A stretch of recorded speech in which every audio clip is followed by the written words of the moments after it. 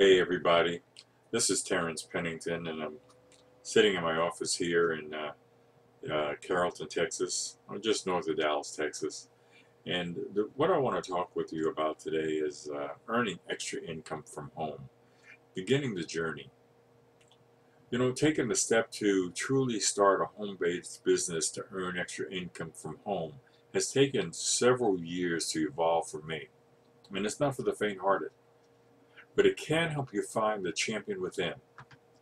Some people are out of, are out of the box thinkers from the very beginning of their working life and they naturally gravitate to, talk, to entrepreneurship.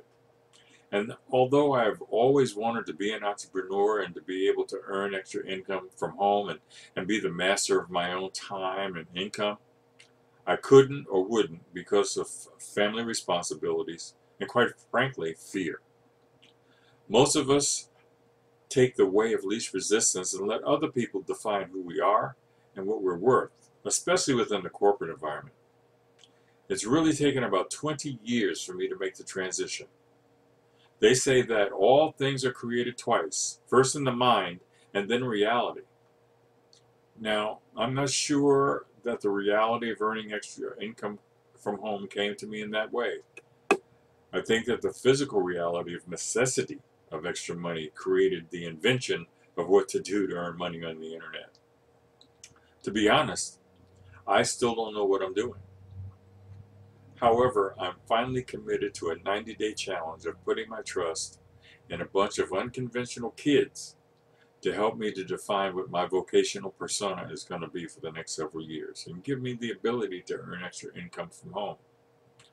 I have an idea that once I learn the principles and the strategies necessary, I'll be in a position to pull all the things that I've learned over the past 50 years and pull them all together to finally truly earn extra income from home, which will turn into solid financial freedom through multiple streams of income, which will translate into uh, all income from home, working part-time.